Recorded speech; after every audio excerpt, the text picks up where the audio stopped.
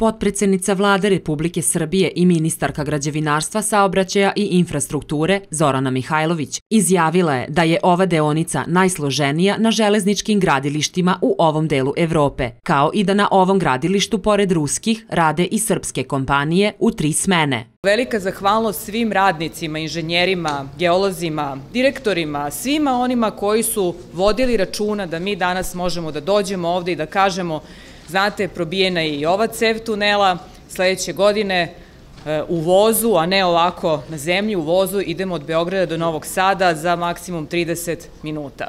I svo vreme, i kada je bila epidemija, i pre epidemije, i danas, ovo gradilište radi u tri smene i ovo gradilište i ruske železnice stvarno jesu primer kako izgledaju dobra gradilišta i kako posluju u stvari najbolje svetske kompanije, Mihajlović je istakla da je ponosna što na tom gradilištu rade i naše kompanije i što naši radnici mogu da stiču iskustva za nove projekte. Ja sam posebno srećna što na ovom gradilištu ali na svim srpskim gradilištima, pored velikih izvođača i svetskih kompanija, radi i srpske kompanije, to je za nas takođe mogućnost da naučimo i da vidimo i da znamo za sva buduća gradilišta koje ćemo da pravimo.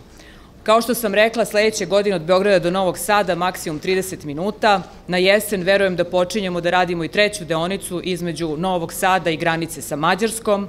Dakle, sve što je država Srbija i vlada Srbije trebala da obezbede i za ovu deonicu je urađeno.